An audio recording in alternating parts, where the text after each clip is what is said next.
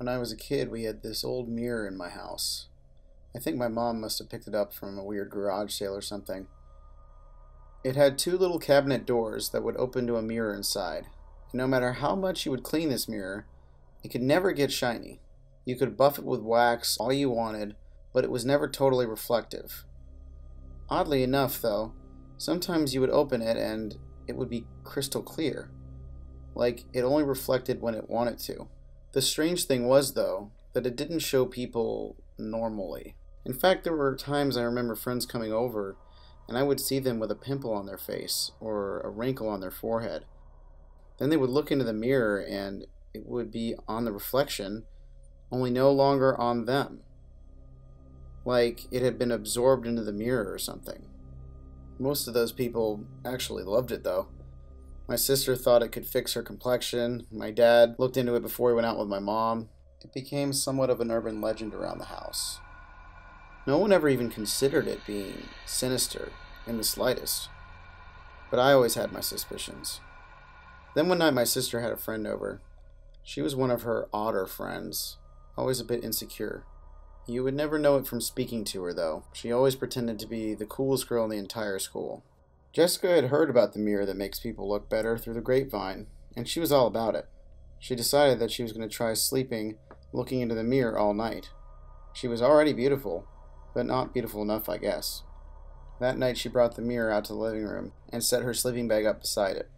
She then laid her pillow right out in front of it and began her journey off into dreamland. Knowing that neither me or my sister would be able to talk her out of it, we just decided to let it go I guess we figured what's the worst could happen, you know? When I awoke the next morning, the house was in a state of panic. I heard my mom screeching this hideous scream echoing throughout the house. I walked into the living room and Jessica wasn't there. She must be up and walking around the house or something, I thought. I walked hesitantly into the kitchen, and to my horror, it was practically destroyed. Plates and glasses were broken everywhere, and silverware was spilled all over the floor. As I stepped further inside, I could make out the backside of Jessica as she stared out the window. Her hands were covering her face, and she was looking straight down. She was making these bizarre little muffled moans that eked from her direction. Jessica, are you okay? Slowly, as she turned toward me, the changes in her facial structure became more evident.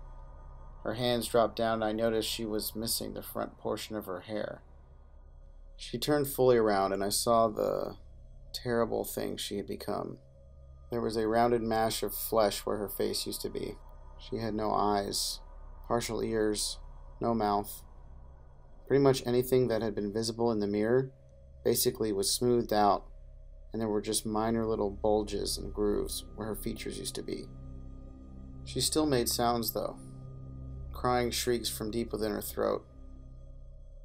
I ran back into my living room, and no matter how terrified I was, there was still one last piece of the puzzle that had to be explored. I slowly crept over to the mirror, and as I looked at the old wooden doors to it, I got the sense that it knew what it had done, and it knew we could do nothing about it. But yet I had to see. I had to know what it would look like.